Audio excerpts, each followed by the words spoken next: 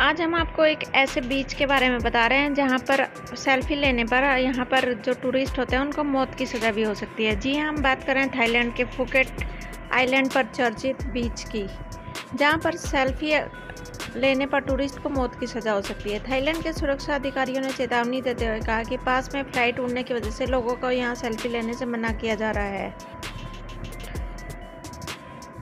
Thailand के सुरक्षा अधिकारियों को लगता है कि सेल्फी लेने से पास से उड़ रहे पायलट का ध्यान भटक सकता है और गंभीर खतरा पैदा हो सकता है, जिसकी वजह से दुर्घटना हो सकती है। फुकेट आइलैंड पर स्थित एयरपोर्ट काफ़ी बिज़ी रहता है और यहाँ लोग पास में उड़ते हवाई जहाज़ों के साथ अक्सर सेल्फी क्लिक करते नज़र आते हैं। इसी वजह से ये पॉपुलर टूरिस्ट अट्रैक्शन भी बन गया है।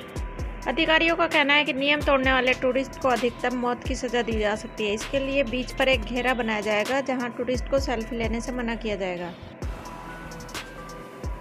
सोशल मीडिया पर अक्सर फ़ोटोज़ पोस्ट किए जाते हैं, जिसमें कि टूरिस्ट के बिल्कुल पास से गुजरते हुए जेट दिखाई पड़ते हैं। हालाँकि इन फ़ोटोज़ की वजह से एयरपोर्ट के अधिकारी परेशान हो गए हैं। अब तक वार्निंग दिए जाने के बावजूद टूरिस्ट सेल्फी लेने यहाँ पहुँच ही जाते हैं। ऐसा माना जा रहा है कि जिस तरह ड्रोन या लेज़र पेन से पायलट डिस्ट्रैक्ट हो सकते हैं, उसी तरह सेल्फी से भी असर हो सकता है। इसीलिए अधिकारियों ने स्थानीय लोगों को यहाँ सेल्फी लेने से मना किया है।